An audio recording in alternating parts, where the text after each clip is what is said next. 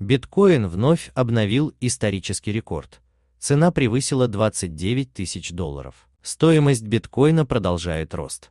По состоянию на 31 декабря стоимость одного биткоина превысила 29 тысяч долларов, обновив исторический рекорд. Об этом свидетельствуют данные криптовалютной биржи CoinDesk.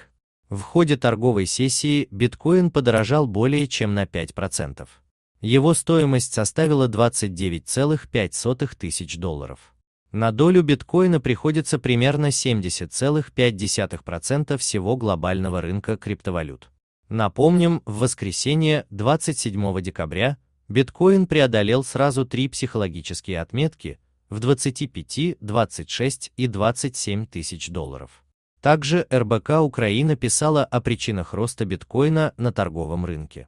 Тогда эксперты называли одной из причин роста биткоина влияние проекта Tether, в котором недавно было выпущено большое количество монет. Кроме этого сообщалось, что в Украине планируют в 2021 году легализовать работу криптокомпаний. Для этого необходимо, чтобы парламент принял соответствующий закон.